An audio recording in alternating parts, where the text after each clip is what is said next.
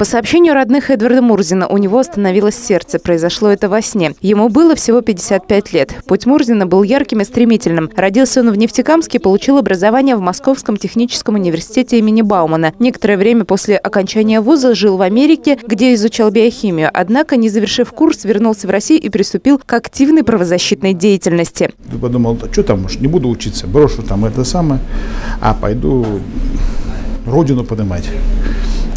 Чтобы так же было, как там, хорошие дороги, а, отличная медицина, а, образование. Там. В родном городе он основал газету «Вечерний Нефтекамск». Несколько лет она была самым скандальным изданием республики. В ее статьях изобличали нерадивых чиновников, поднимались острые проблемы, волнующие людей. Сделал эту газету, чтобы сказать, что воруют, тащат, я даже плохие слова хотел сказать, но не скажу.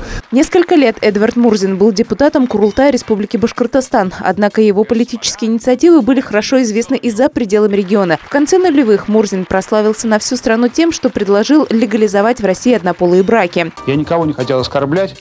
Я просто хотел привлечь внимание общественности к проблемам меньшинств. В 2012 году Эдвард Мурзин заявил свою кандидатуру на пост мэра Уфы. В своей политической программе он писал о необходимости остановить рост цен на товары, а также о том, что у журналистов в их работе должно быть больше свободы. Заставить их следить не только за чиновником, но за, ну, за мной, чтобы я там, не дай бог, что-нибудь там спер или украл. На протяжении всей жизни Эдвард Мурзин сотрудничал с различными телеканалами, газетами и информагентствами. Однако в последние годы занимался бизнесом бизнесом в США. Известие о том, что его не стало, пришло 12 февраля из Нью-Йорка. Родные намерены похоронить Эдварда Мурзина в родном Нефтекамске. У него осталось трое несовершеннолетних детей – 13, 10 и 7 лет. Лариса Миронова, программа «Время новостей».